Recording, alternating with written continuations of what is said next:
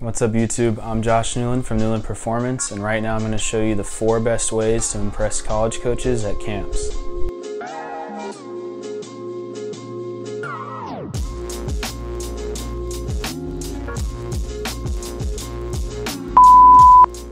So the four ways I'm going to tell you about in this video is research, initiative, respect, and be yourself. And I think these kind of just apply to recruiting in general. I mean, just living life in general. Um, I'll explain a little bit later.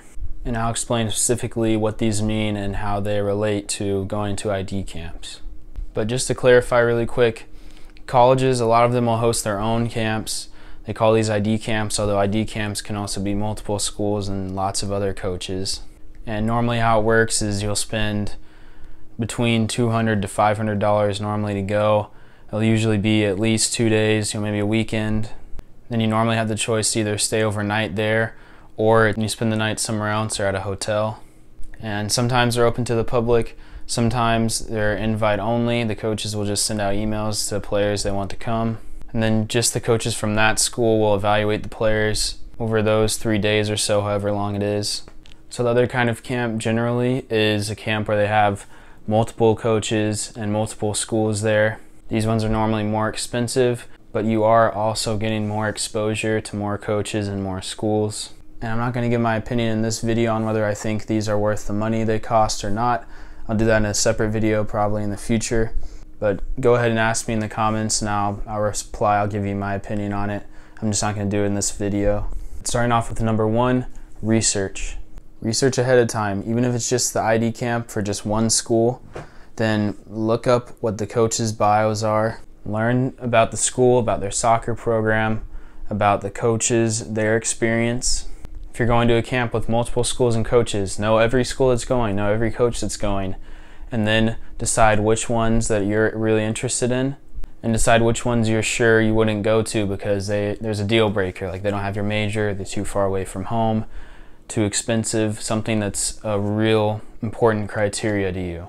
So that way you already know going into the camp, these are the coaches I'm going to need to talk to.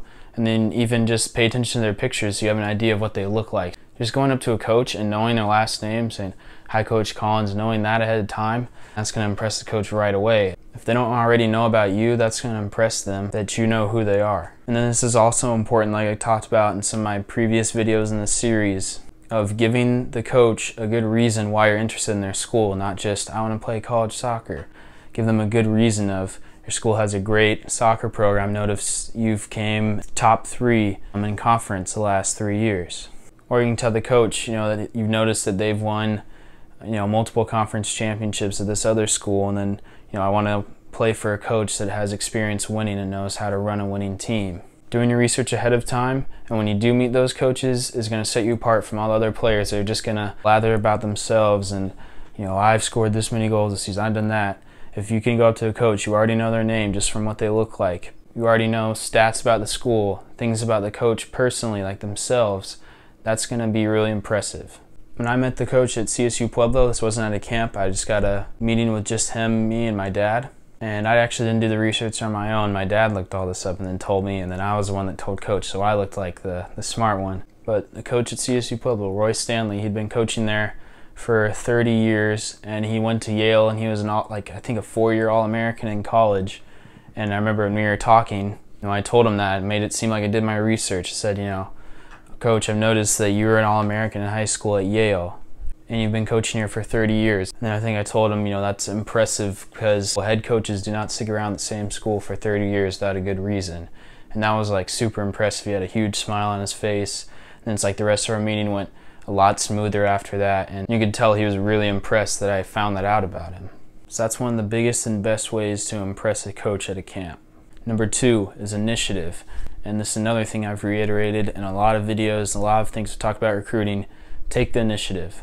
So once you do your research, what you should do before going to the camp, not just the night before, like a few weeks before, so you have a clear picture in your mind who you're going to talk to, what schools you're interested in. Email those schools before you go to the camp. Let them know, I'm coming. I've noticed that you're going to this camp. And say something like, I'm looking forward to playing in front of you. And I also made a video just about how to email college coaches. One of the types of emails I describe really clearly for you, so if you want to check that out, here's a link right here. But send all the schools and coaches that you know are going, that you know you're interested in, an email before you go to the camp. So that way they'll at least be aware of that you're going. And then once you're there, go up and meet them in person, shake their hand. You should know who the coach is by how they look, just like I talked about in the research part. And take the initiative. I know a lot of times college soccer coaches can look kind of intimidating and you know they got their arms folded, sunglasses on, hats on. But going up to them and introducing yourself is going to leave a big statement because they don't want to have to come chasing after all the good players. They want you to come to them. Well, there was a camp the summer before my senior year, and there was over 60 coaches there from like 40 or 50 different schools, and I think I met 20 to 23 coaches that weekend alone. Whereas I bet you a lot of the other players, probably at most introduced and went up to five coaches, and that was probably their five dream schools of San Diego State, Stanford, Oregon State, all these really big D1 schools. And that's another thing about this. You know, they had a section where it was just for us to go learn how to introduce ourselves as coaches. And, you know, Stanford, of course, had, you know, 20 guys at least in line out of hundreds of guys there at that camp. And then meanwhile, you'd see some of these smaller schools, NAIA D3, no one's standing in their line. The coach is just kind of awkwardly standing there. That's a great moment. You just go up and introduce yourself. Sometimes, even if it isn't a school you've ever heard of, you're not that interested in, why not? It doesn't hurt. Go up and introduce yourself. So you got to be bold. You got to go out to them first. And even if they've already had your eye on you, that's still going to be more impressive to them of a player coming up to them and having the balls to introduce themselves, even when it might be awkward, even if it's clear that you're nervous they're going to have more respect for you than they would for some player that they have to go chase around. And when you take the initiative, be clear, use your research, like I said. Tell them, hi, coach, use their last name, briefly introduce yourself, maybe a couple little things about you. I wouldn't go in depth as you do in the emails because in person they're going to have less time especially at a camp, probably walking back and forth to things. Just tell them, you know, your position, tell them your club, tell them where you're from, GPA, tell them why you're interested in their school, give a short, specific reason, and then end on, you know, I'll be playing on this field at this time. I'd love to see you watch me play. Or ask them a question so you keep the conversation going and it's not just them kind of giving you a blank stare like, okay. And then also at the end of the camp, even if you don't introduce yourself till the last day of camp or something like that, if you know they've watched you play, for example, that coach was coaching your team during the camp, ask them for feedback. That leaves a great impression on any coach, and you should ask everybody that watches you play that's paying attention for feedback, no matter who they are, anyways. And don't be afraid to ask them to get specific. If they tell you, you know, I think you need to work on your touch or your speed, tell them, are there any drills you personally recommend for me to do? You know, like I've said before, one of the Stanford assistant coaches coached me at a camp, and um, you know I emailed him before. I talked to him there a lot. I emailed him after, and never got any responses. During the camp, he was pretty quiet. Of course, I talked to him. I introduced myself, but at the end was only you know real time I got to talk to him. So I took all I could get out of it.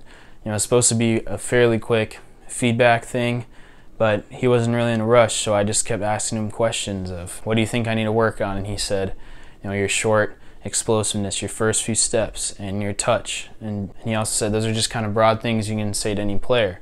So then I asked him, what are some specific drills? And he gave me a couple simple, specific drills. And he seemed pretty unimpressed. I mean, he pretty much kept a straight face the whole camp. He didn't, he wasn't really goofy or anything like that. But he ended up giving me a good rating that I could use and put on my profile. And also beyond just that I'm a good player is that I was asking questions, I was interested, I wanted feedback, and that I was a coachable player that he thought would be a great fit for college soccer. So even if it's some coach from some dream school that you think, you know, I don't stand a chance and he probably care less listening to me, that's going to leave a good impression on them when you take the initiative.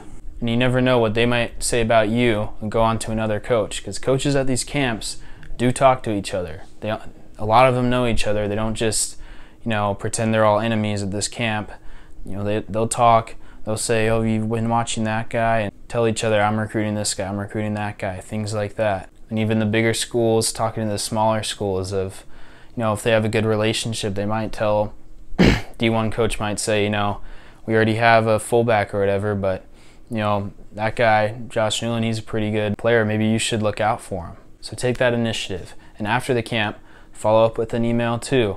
If they didn't give you feedback in person, that's a good time to ask them for feedback and then just say, I'm glad I got to play in front of you, something along those lines. Just be bold. Don't let coaches forget about you. That's one of the worst things that can happen. Number three, show respect. Be respectful of the coaches, like I've said before. Call them coach, use their last name. Be polite, be at least somewhat formal, even if you talk and use a bunch of slang or whatever. At least for that moment when you're talking to the coach, just be respectful, be polite, be professional. It's always better to do that than to be too casual and acting like you could care less going to this camp and you know you seem cocky or like the last thing you want is the coaches to think that you're being disrespectful. And no coach wants a player with a careless, selfish, or disrespectful attitude on their team. Also, show respect for your teammates. Don't go out there acting like you're bigger and better than everyone else. Show respect for them. Be a leader by your actions. You know, this is a camp as competitive as I am. You know, it's not time to yell at your teammates if they mess up, they make a mistake, you lose a game because of them. Just let it slide. I mean, at the end of the day, you're going to the camp to try to get yourself out to coaches. So don't waste that money and time you spend at this camp because your attitude is bad. And don't also be the other way, like you're acting like you could care less being there and you know losing a game or making a mistake. You know you don't care and it doesn't bug you. You don't want to seem like that either. You know just try to find the right balance.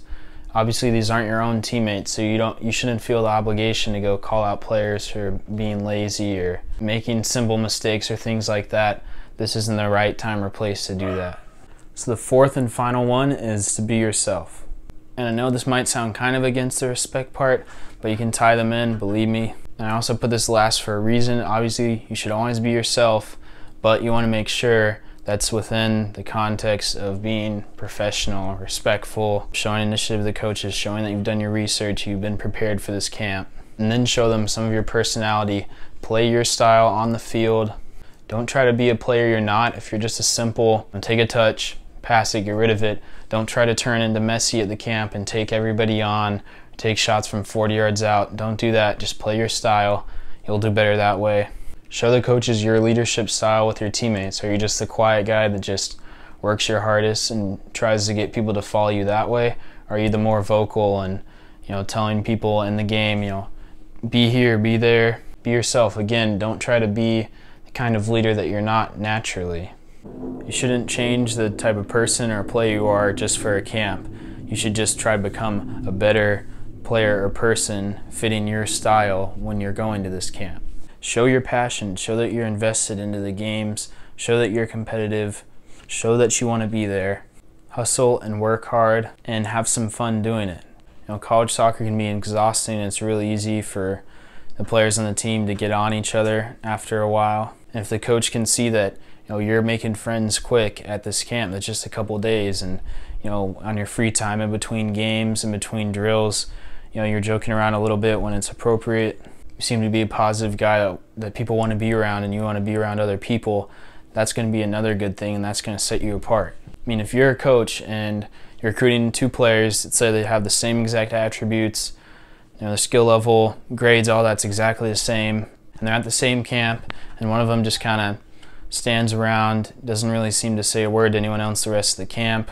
You know, they might have been had, took the initiative and talked to you, showed respect to you, done their research, but then you don't really see much of their style, how they're, what kind of leader they are, how they interact with other teammates and players. But then the other player, he's doing all of his things right and he's, you know, joking around with his teammates when the time to do that is right. He's showing passion, you know, he's invested in the game, he's intense, he's focused, but he can also have a good time. And you see other players kind of coming to him and you see them kind of hanging out in groups with him. Which of those players are you going to choose? So don't be too shy at these camps. Obviously, you don't have to turn into some extrovert, but that's just another good thing that's going to set you apart if you show that you can make friends and you are a guy that people want to be around. That's huge on a team. Because as important as stats, grades, how you play, all of that is. It's extremely important. But if your team doesn't get along, if they don't have good chemistry, if they're a bunch of guys with too big of egos and they can't stand each other, you're never really going to win anything or be successful. So that is something coaches also want to see from you. They want to see some of your personality and what you're like. So those are my four best ways to impress coaches at camp summed up. I know this wasn't anything like really specific of drills and things like that because I think you should already be doing that. You shouldn't just think about doing that before going to a camp. And I do also want to say that these can also apply to showcases and tournaments where there are coaches there too, but these are more specific for the camp environment. And I've also been to more camps than tournaments where there's a lot of college coaches there to go up and introduce yourself to. So hopefully you guys can take something away from this. I think a lot of players had the idea at a camp that you know they've heard stories that you just play really well and then all these coaches are going to come flocking to you. It's just like the rest of your recruiting process. Take the initiative, be bold, be professional, and put yourself in the best position to showcase your talents, your abilities, your skills, and that will really impress college coaches. So comment down below your experience with camps. You know, have you got recruited from camps? What's your thoughts on them and what are your tips for other players going to camps as well? But thank you again for watching. Like and subscribe if you enjoyed this. If you are enjoying the series, turn on notifications, hit the bell so you'll know when new videos in the series come out. I'm releasing them every weekend. Thank you all again for all of your support and I'll see you on the next one.